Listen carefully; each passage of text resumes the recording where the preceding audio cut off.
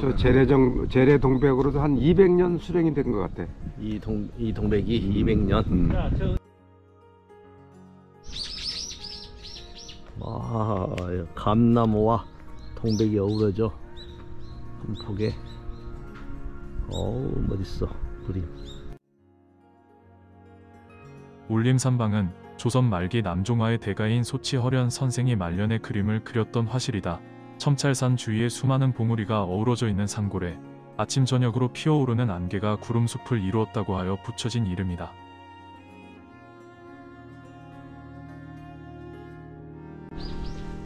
초가집 이제 예, 네, 초가집 초가집 이제 가 이거 가는 거죠. 가는 거 벽갈인가 뭐. 소치 영정을 모시는 올림사.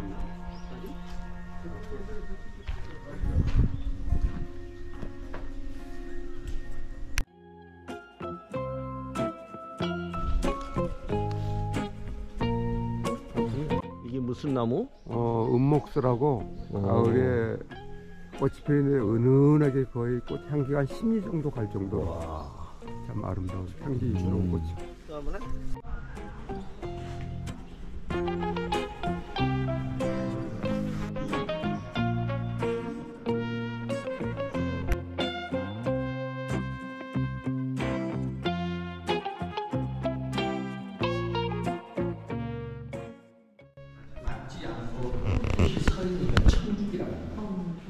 그래서 만약에 잡으세요. 아까 대그림의 저의 드라마 이 내용만 듣고 가버리신 분들하고 이제 여러분들 청주, 우주, 풍죽을 해서 들으신 분들하고 어떤 차이가 있냐면 대나무 그림을 화가에게 부탁을 했어.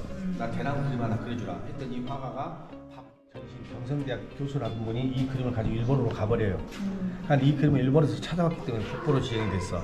이 그림을 일본에서 찾아오신 분이 우리 진도 출신의 서예가 진도 사람 소전 선쟁성이 작품을 찾아옵니다. 그러니까 이 그림 속에 굉장히 재밌는 메시지가 몇 가지 들어있어서 내가 그 얘기를 좀 해드리려고 해요.